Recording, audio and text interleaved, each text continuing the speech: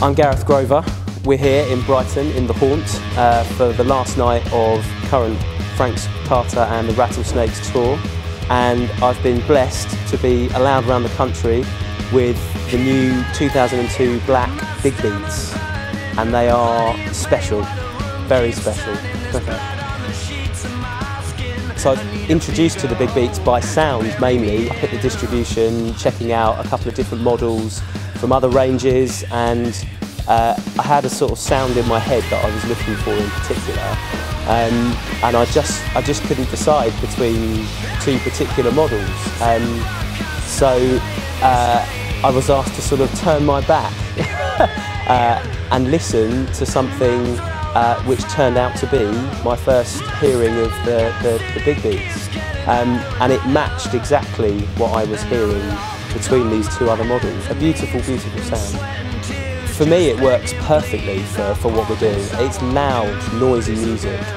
I personally don't want to hear too bright sounds sort of floating over the top of other things. It's, it's too harsh. From a sound engineer's point of view, the guy we've been working with on the tour um, sort of has backed up everything that I felt about the cymbals in that they sit, they, they explode, they, they punch out from, from among the mix on stage, but uh, they have quite a quick decay, a quick sustain, and they disappear back under everything, and they just, yeah, they sit perfectly, perfectly.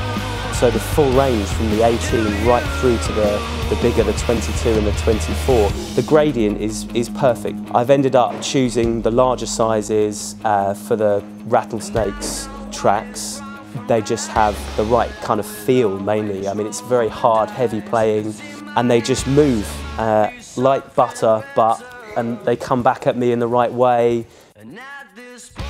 For 16 inch hi-hat cymbals, which are big, they, uh, they feel great. You know, again, just like the rest of the cymbals, they, they come back at me in the right way. Um, they feel nice to play whether they're sort of tightly clamped to the stand or whether they've got a bit more movement to them. They're, they're crisp, but they have that sort of nice, subtle dryness to them that sits just under the mix where, where I want to hear it. So check out the 2002 Black Big Beats range from Paiste. Perfectly sculpted, uh, an incredible sound and exactly what I had in mind.